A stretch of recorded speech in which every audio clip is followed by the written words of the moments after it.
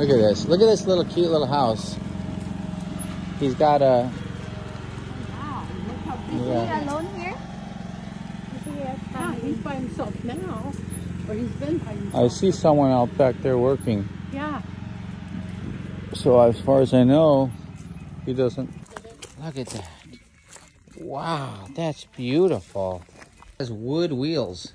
Yeah. I mean spokes. The one I'm fixing up has wire wheels. Really? Look at that. That is absolutely amazing. So, are you going to have this running, you think? Uh, the only reason I got this on is for reference. uh, I'm restoring one like it. Okay. And- but- These little rose bushes. It just looks so clean and nice. I want to see it in your machine shop too, though. That uh, these gates. There's another mate to it over there. Hmm Anyway, um, I had originally made them well, it's on wood posts, and uh, the arches were.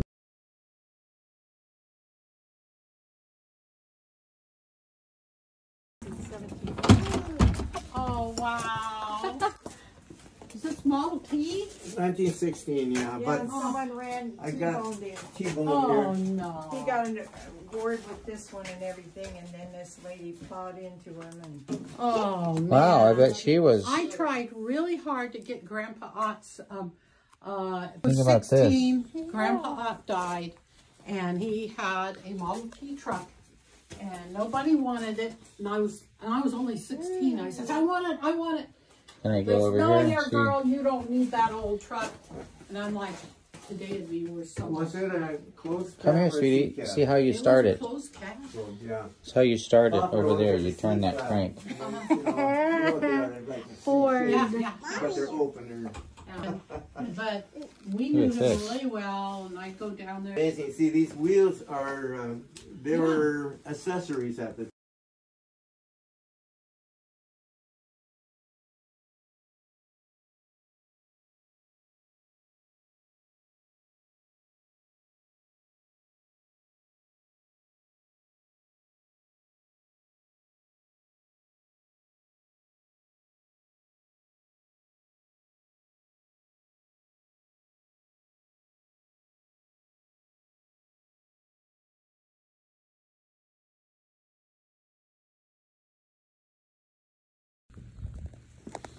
This is almost like a museum. You could actually ha- charge money.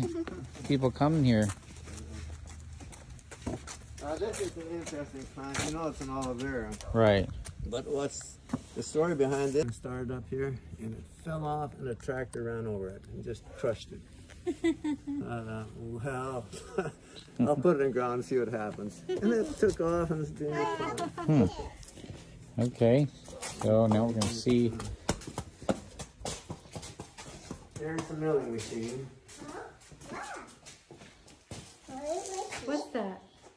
From, oh, oh, And it's a uh, milling you see this whole thing swivels so you want to mill something out here so you clamp it to the table and you're milling way out here. Or you can go in or out, and of course this goes in and out, and that's back and forth. It looks like a drill press kind of, but what it does is it makes you can make square things, you can make all kinds of things, and that makes Yeah. round And things. Now this is the indexing head that you'd clamp on there to take that vise off and move it over. This is called, say if you want something four-sided or six-sided or Right. three-sided, put it in the collet and you index it here. You set these, how many spaces how you want. many? Yeah, yeah. Yeah. Goes uh, as high as six sides here. Wow. We used to have a, a box of these. that My dad had just a box of those. Yeah. These are carbide too. hmm And Tell thread stuff on it pretty easy. Yeah. This is small, but threading, but I can just watch the threading and then quick reverse it. yeah. Yeah, I'm Over looking at uh, three-phase power here.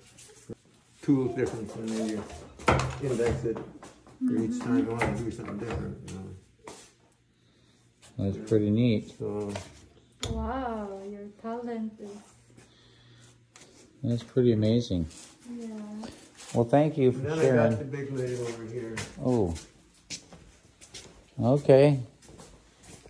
Yeah. This is the old uh, manual tools I kept. I, this, before I put this car in here, I had two big uh, machine centers that were computerized. Mm -hmm.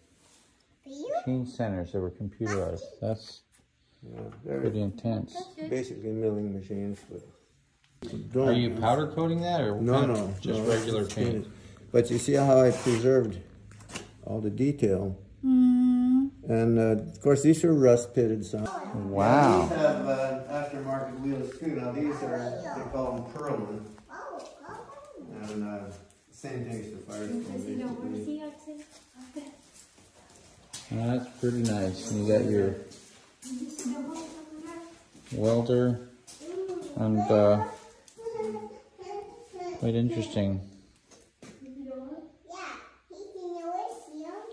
Not that old. I'm not. I don't know how this was, but I can. s- I can see the coils here, and I can see that would rub. That would create electricity if you moved it on on that. So it's like a generator. Yeah, it's an alternator actually. Right, yeah. And then rear wheel drive differential. Yeah, this one is another option is the uh, two-speed axle. Well, I had to make all Woodwork shop. Framework for the body. Wow, yeah. Yeah, this is the wood shop. Wow. So you do the framework for the bodies out of wood. Oh, so here's your, uh, Now box. here's the chassis for the Dodge, and I've got these kind of air wheels Oh, those are beautiful. Oh my. That's gonna be really amazing when you get it together. And here's your, um, bell housing and, oh.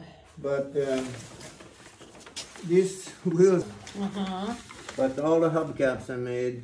So you made that? Yeah, the hubcaps. Yeah.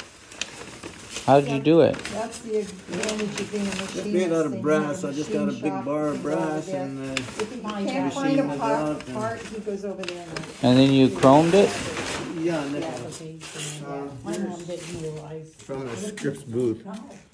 Okay. But anyway, see, they're just Yeah, so you made it. yeah. He's finally getting to restore his stuff. Of its own. Awesome. I won't drop it. And So how did you make cen- that? The center part. See, I was looking at this and I thought, you know, I think I've seen something that diameter. And sure enough, that's a radiator emblem for the uh, for the Dodge, and they reproduce those. Oh, Wow. So I got all new centers. well, do you guys watch, um, So how'd you round that was done on the milling machine? this shop that Uh, well, did you do first some I hand? no, first I turned it round, On the lathe, yeah. round, and so that Okay, that so gave me the radius. Right. Then I milled off. Okay, sides. gotcha. We were going back to Minnesota to some of his hmm. car parts. Hurry up. Okay, let's go. It's nice.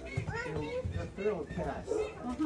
So anyway, Oh, yeah. Yep, that's the exact one. That's the one I had. Yeah. yeah. That's Yeah, it. that's what they look like, all right. I'll get a picture. Let's see. Yeah, the first ones were pretty boxy. They weren't. Mine was this fancy. color. Yeah. Sweetheart, I had one of these. But these models are so detailed. Oh, wow, that's beautiful. Mm-hmm. They had the benches. That is quite the, Well, there's my. for it. Mm-hmm. Oh. that's beautiful. So this is his yard. He's almost 90 years old. He does all the work himself. This is up in the barn. There's an apartment. And he's got a machine shop underneath. Three machine shops. A woodwork shop. And horses. Tell me your story about the aloe green. vera. I didn't know it would grow here.